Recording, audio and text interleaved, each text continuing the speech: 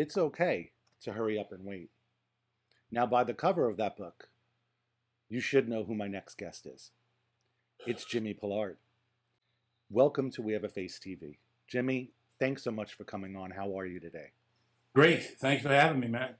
Yes, I, I, I wanted you on for a while, and I know that we spoke before um, prior to the show about what will we talk about, and whether I'm biased or not, I loved your book, and have had the pleasure of being in your company, whether it's at other individual events or at our own events that we have a face. And you have always been such a great ally for us. And having read the book three times, I thought today would be the opportune time for you to uh, let's get into the book, the exercises. But first, what I'd love for you to do is I'd love for you to tell our viewers a little bit about yourself, um, for those who don't know, and your background and how you got to where you are. So I'm speaking to you here from my home where I born, bred, grew up in Lowell, Massachusetts, up in the northeast corner in New Hampshire. And um, my background is as a special ed teacher, then a nursing home administrator, but special ed teacher essentially. And um, I began uh, my special ed time in 1972, which is significant because it was the it was the last year before uh, kids with handicapping conditions were brought into and integrated into the public schools. So the first year was in church basements organized by families. Then the special ed laws came and they were integrated into the public schools. but my classes were uh, for kids, but that meant up to age 22, who had back then the term was either multiply handicapping conditions or severe and profound mental retardation. So the curriculum that we worked on every day was bathing, dressing, eating with utensils. Uh, on the cognitive end, it was like a preschool shape color thing. Uh, toilet training, a real big one, um, and using toilet paper. I mean, it was a really gritty, uh, down to earth curriculum. But in uh, so while I was doing that, I ended up uh, uh, getting a, uh, joining a master's degree program.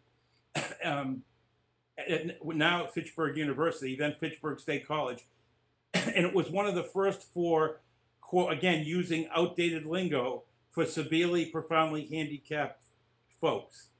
Um, and being in the Boston area, it allowed that program to have a lot of like really top-notch applied behavior analysis teachers. So like my mentor was a guy, Carl Binder, who studied with Skinner. My uh, another more informal mentor was B. Barrett, was Skinner's first doctoral student. Um, so being one degree separated basically um, from Skinner, uh, I learned behavior analysis not as behavior management, like things to decelerate misbehavior or what we've come to know, you know, the things that have trickled down now, like timeout or token economies or on any of this stuff. I learned it uh, as a liberating uh, technology, instructional technology, that kind of thing. So I never brought it as kind of a punitive deceleration kind of thing. Um, but since I ended up then, and this is just say I ended up in a nursing home after bunch of years, that's a separate, lengthy story. Um, the goal of, of, applying this stuff to people who, even they had Huntington's disease, um, I saw it as multiply handicapping challenges and conditions.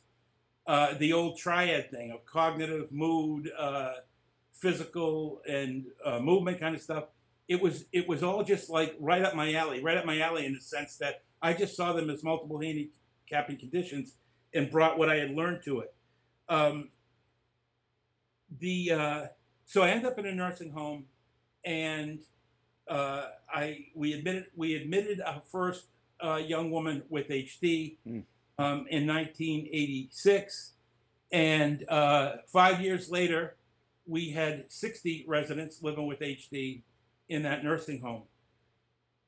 The reason I point that out is because um, there were a handful of maybe five, six, seven of them who I spent uh, um, many years with 12, 13, depending on the person, years. So it allowed me to see HD evolve for them.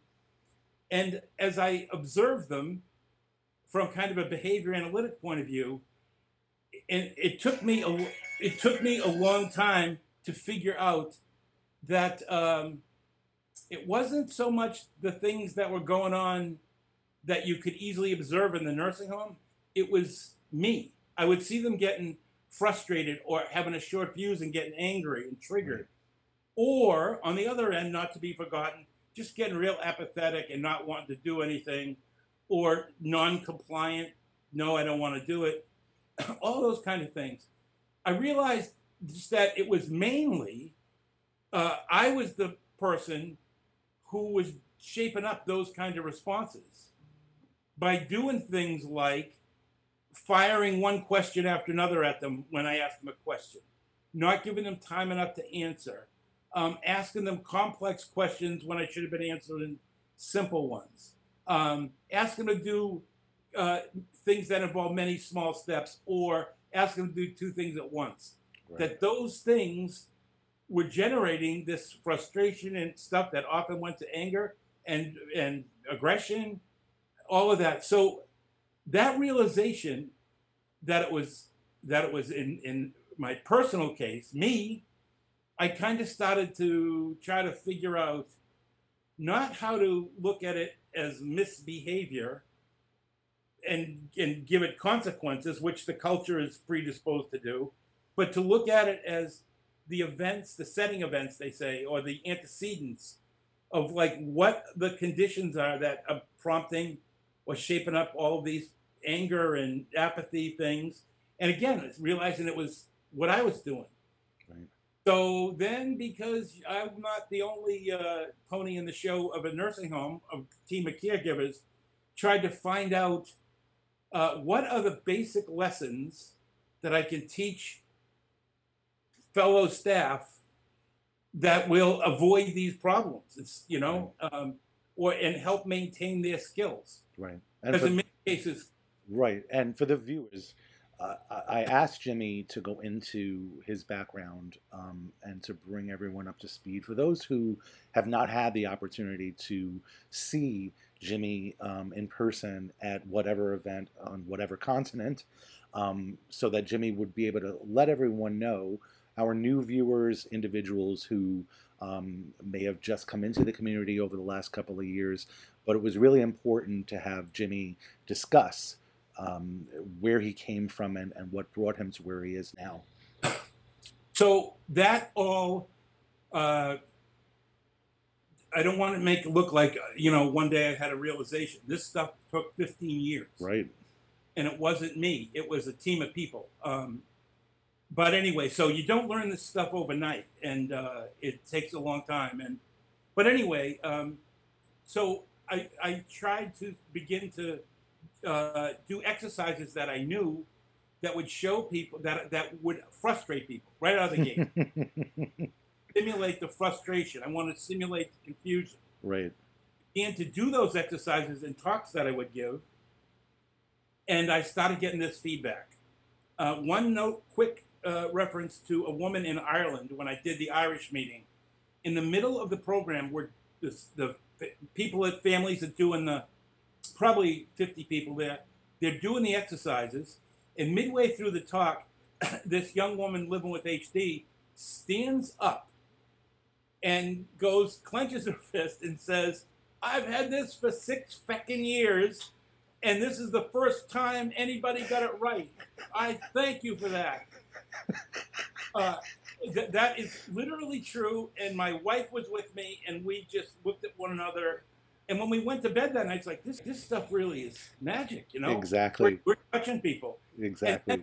Then there were a series of things where uh, people with caregivers would come up to me privately and fighting back tears or crying, saying, I wish I knew this stuff when my brother was alive or when my father was alive. Yeah. And then the third thing was there were a couple of colleagues who I could name, but it's probably unfair to, who would observe this and then just like make a very formal, like call me aside and say, Do I have your attention? I want to tell you keep running with this idea because it's Mm. really touching people. So that's that's where that's how Hurry Up and Wait came about. Um, I, I the first time it was ever packaged as Hurry Up and Wait, the talk was in 2007 at the World Congress of Honey Disease in Dresden, Germany. And since then, I've done it in 44 American states, Mm. nine Canadian provinces, five Australian states, 16 uh, national meetings in 16 European countries, in Israel. Amazing. Amazing. I woke up one morning and said, This stuff is really touching people. If I drop dead tomorrow, I don't want to lose it because I, at the time, was the only one who was doing it that I knew of. And uh, so I sat down while my wife and I had watched Law and Order SVU uh, marathons, typed up my talk into a laptop, added some other topics and tirades, mm-hmm. self published it on Lulu.com, and then other uh, European associations um, started translating it. It's in Italian, Polish, French, Slovenian, German, Portuguese, Norwegian, and I don't have an exact count, but a conservative estimate is taken all languages is about eight thousand copies in print. Wow. So that's Brilliant. that's it. Brilliant. I mean, the, the the the one thing that I want the viewers to understand is, eh, you're before I met you, um, and of course, I've heard of you and I saw videos of people who had their conventions, their conferences, whatever. But to have you in the room with uh, families and patients and even medical professionals, what what I loved and love about you and the time that it's for you to present is that it captivates people because some that are there don't know oh god what is this guy doing and how you set up and what you do and and how open and honest and blunt you are. And that's what in my opinion having had seen you for the first time several years ago i said wow Oh, this is this is what we need because you're a teacher you're a confidant um, you don't have to do what you're doing but you're doing it and so many people are being touched by it. And uh, that's why I, we're gonna we're putting up links for your book where to get it and so happy you mentioned the, the languages as well because that's incredible um, so I, I would love for you to continue with hurry up and wait So uh, it's really um, um, it's really just a series of exercises and um, to simulate frustration. Mm. Um, because uh, so obviously the other side thing is I've had so many conversations about people who are walking their HD roads, describing to me, and this is one of the benefits of that I get of what it feels like to think with it and and and trying to describe it. Um so so we without hd we have certain feelings by doing some things now i'm not talking about feelings as in the psychological feelings like uh, grief and loss and despair i just put those aside for a minute as real as those are but I'm talking about that some of the difficulties thinking with HD and a bunch of other neuro things actually have like a visceral feel to them. And the way I always tease this is it's that old rub your belly in a circle, now tap your head. And if I'm speaking to 30 people, um, maybe there'll be one person who'll even try. right We all know that that's like until you like might close your eyes and get one thing going and then whatever. I mean, you can do it, but you just don't want to do it because it feels lousy in your head. Mm. So that's what I mean by visceral thing. There's always like a 10 year old kid who's got more neurons than everybody who just does it right away, or, or a drummer who's doing it with you know all four limbs. But overall, pretty much that's the that's the case. So these are things to induce those feelings.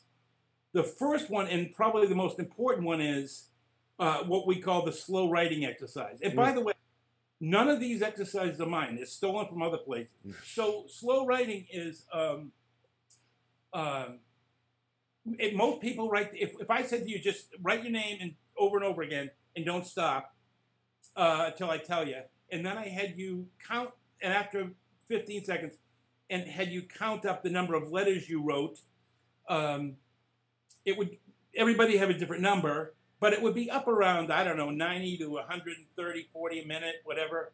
So that's the range of fluent name writing. Mm. So then I say, okay, now I want to I want you to write your name at six letters per minute, one letter every 10 seconds. So that, you know, looks like uh, this using my finger. The J of my, the first letter of my name, J. I would start now. Start. Five seconds in, I'm halfway through.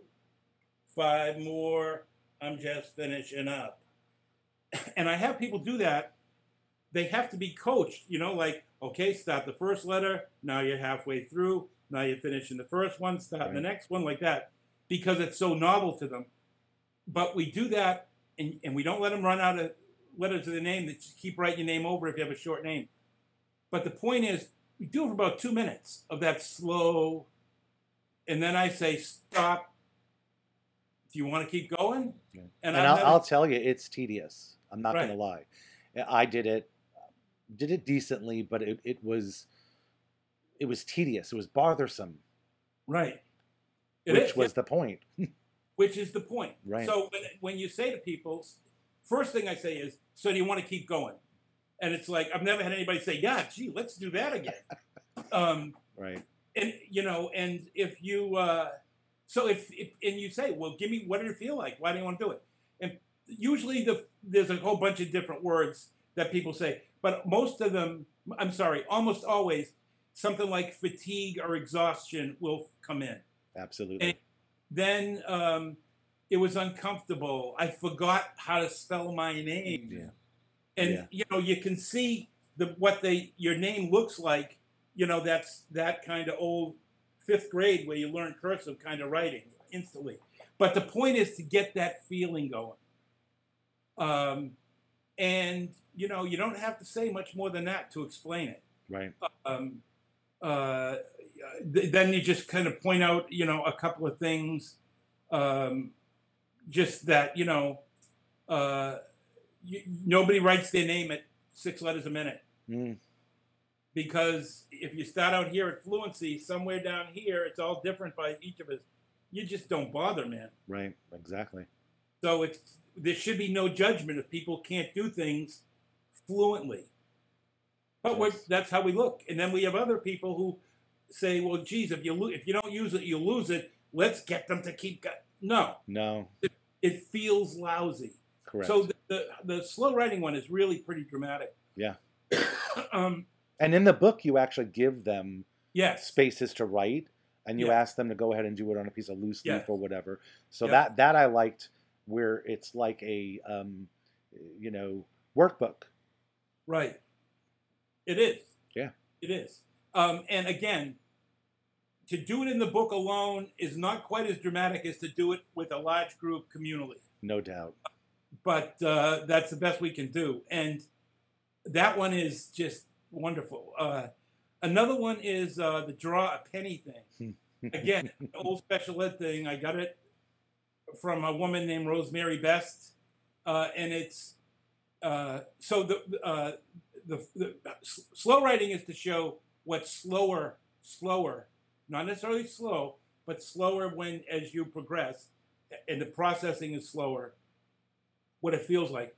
The penny exercise is to show that um, it's easier to recall something, to recognize something, Recognize. than to re uh, to, to recognize it. Right. So this is in the memory domain, but we just ask people to draw a penny, and you know they'll say, uh, "What side, front or back?" It's like I don't care. Take one, pick one. Right. I'm And gonna you- I'm gonna put mine up as well All right, because I did it. I- It was like the third time I did it after a couple of years. right, Um, it's not the best, but right. it, it is. It serves a purpose. And uh, so people get like Lincoln's head and maybe United States of America, one cent or whatever, and then I don't give them a lot of time. Just okay, now stop. Right. okay just don't do anything and I'll, then I'll, I'll project on the screen a penny and for them to see And then I just kind of lay back and wait about 10 seconds, and everybody in that room will be tur- will be laughing and smiling. It's like, Absolutely. James, look at look at this. No, look at mine. Oh, I can't. Oh, and you can hear hum coming. Absolutely. The point of that is how we go about asking people questions. That we got to build on the principle of that recognizing something's easier than recalling it. And the recall is you've seen a penny a bazillion times, so you recall what's on it.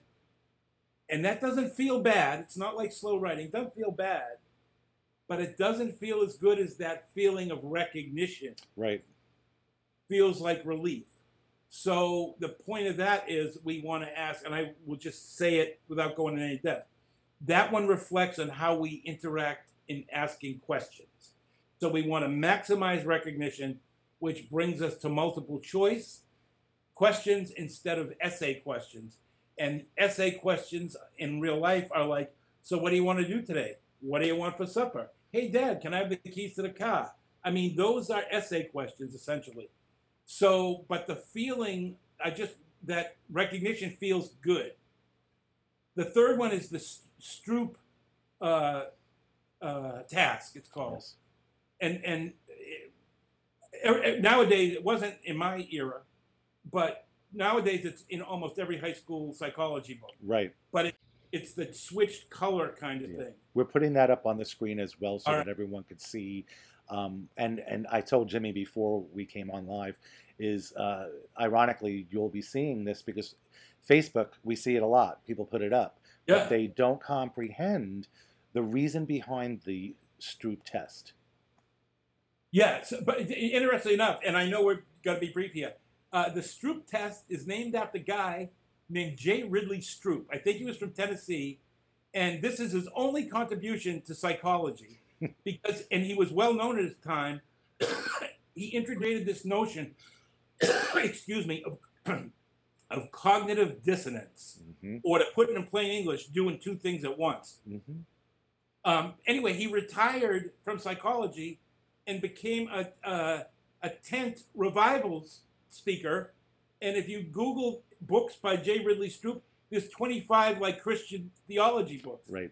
But anyway, Stroop, uh, the Stroop task is so you read the colors once, and the word i- of the color red is written in red ink, green and green, and then the dissonance is to switch them. So red is written in green, and, and yellow is written in orange, Right. and not try to do it. First time, when the colors are the same as the word, you fly through it, but then it's more difficult and and you have to do two things at once. You have to tell your your brain will tell you just say the damn word. Just- exactly.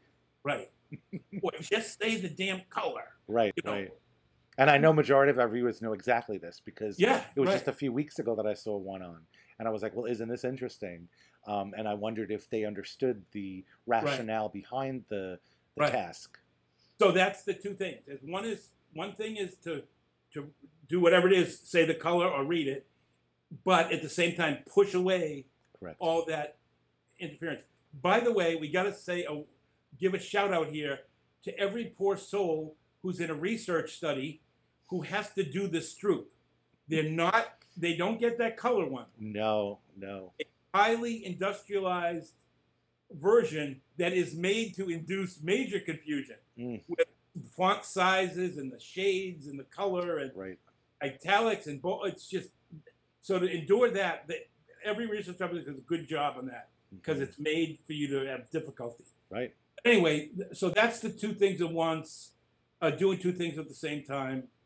Um, then um, there is uh, a series of them that I won't get into in a lot of depth, but uh, uh, it's um doing sequential things at the same time. Mhm. A lot of times, if we do it live uh, uh, in real in real settings, we put a blindfold on somebody and ask them to go and find something. Right. I remember that.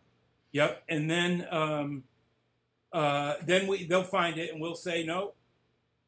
So and we don't tell them. We'll say like, could you hand me my cup my cup of coffee at the on the podium here at the head of the room?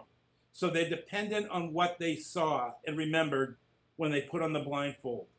So then they do it, and you tell the crowd to be nice and don't help them, and they'll make their way up pretty much. They might bump into some people, and we protect them, and but they'll get there. And then we say, take the blind off, blindfold off. It has nothing to do with vision loss.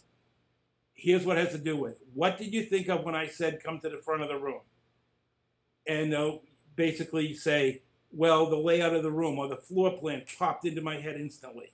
And then I just figured out I'd take a left down this aisle and turn right to go to the front of the room. And I will say, stop right there. Those are the things that get more difficult as you live with HD. Right. That floor plan doesn't pop in as quickly. Maybe it's not as accurately.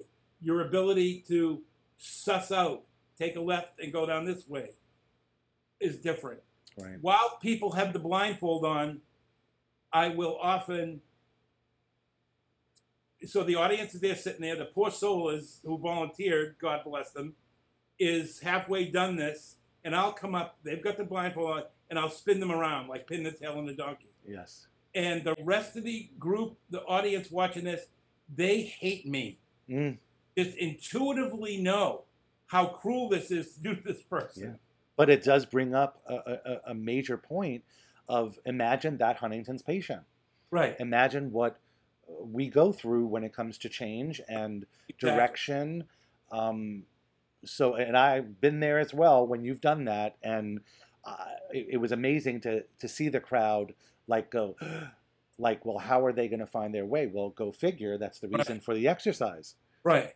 So yeah, and the punchline is, so for, I ask people, so what do you think of me? Now, come on, man. people will be not relatively restrained in a group, but they'll say, "I thought you were a jerk, man." Mm, And that's a, I said, "You're being nice." Um, but the punchline for me is then to say, and you wonder why people with HD hate surprises.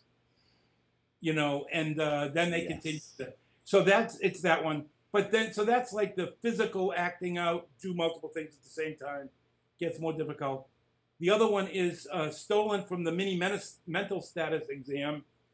If you've been in a research study or even had a bump on the head and gone to an ER, um, uh, they might have done a mini mental status exam. And one of the items is called serial sevens mm, or count backwards from 100 by seven. mm. Uh, so, Didn't do well on that one. no, you've got to juggle back and forth. Yeah. And some people smoke it, but most people have difficulty doing it. Right.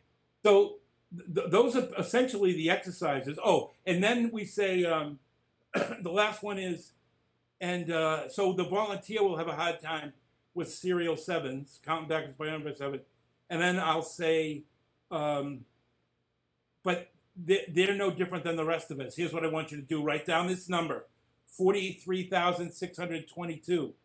Okay, you got that? Yep, forty-three thousand six hundred. Now divide it by one hundred and seventy-nine Mm, mm. everybody would be looking at me like, "Are you kidding, man?"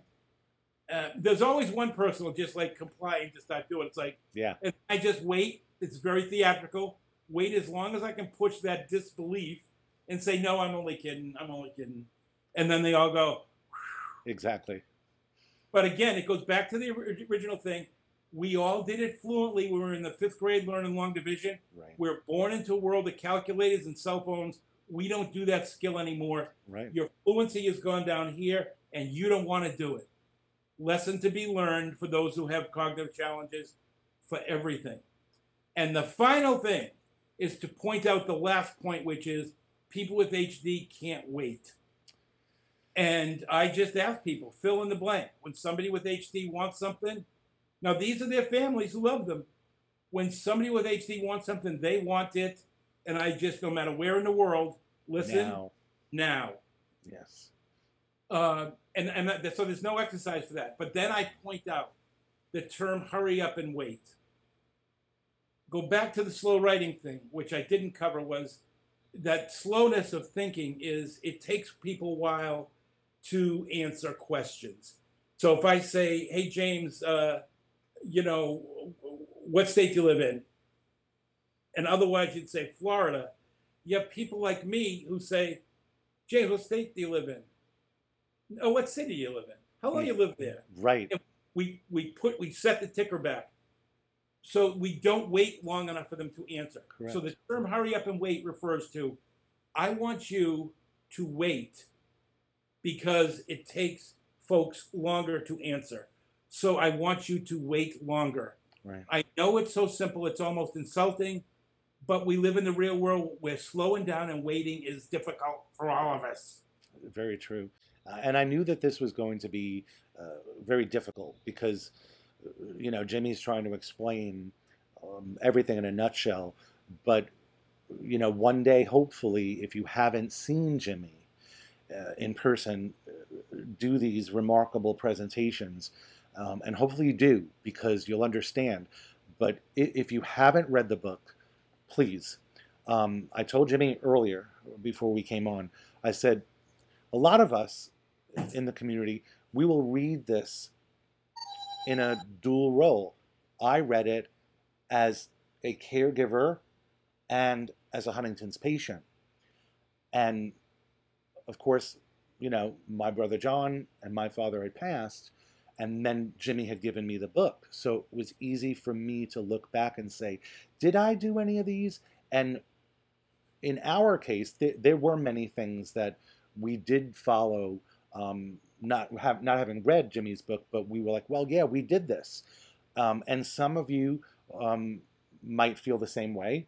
Um, that you're reading this as a Huntington's patient and a caregiver, because let's face it, people do caregive as a Huntington's patient. And then reading it from a, a caregiver's perspective, you know, I could only imagine that because they're not in the shoes of the Huntington's patient. But either way, uh, you guys have got to get it. Hurry up and wait. It is on um, Amazon. It is. Uh, so, I know, and, and Amazon. And what was the other one? Lulu.com. L-U-L-U.com. Yeah, we'll put up all the links. Um, but Um, go the ahead. final bow, the final bow as we close here is because they think slower, I want you to wait. Because they can't wait, I want you to hurry up. correct. So are you telling me hurry up and wait at the same time? Yes. That term represents craziness and everything else in our life. What does it feel for like for caregivers to do hurry up and wait? Ah. yes. What does it what does it feel for the person who's walking the road themselves? Ah. So to do this is a profound act of love. That's it. absolutely, absolutely. Jimmy, uh, thank you so much for who you are and what you do. Um, I hope you continue to do this for a very long period of time. We're crossing fingers when the treatment or the cure is here. Um, you have been a, a great friend to We Have a Face and to so many organizations, and of course to the community embedded in the trenches with us. And uh, thank you for all that you do, my friend. Thank you. It's a wonderful opportunity. The rewards are great. Absolutely. Well, that'll do us for uh, this episode. Please stay tuned for the upcoming episodes. It'll probably be the last one for season one. I can't believe it, um, but season two will be returning in late November. So, once again, please look for Jimmy's book. We have all the links up. If you have any questions or concerns, Jimmy would always be there for you. He's on Facebook all the time. So, that'll wrap us up for today. And always remember, you are loved.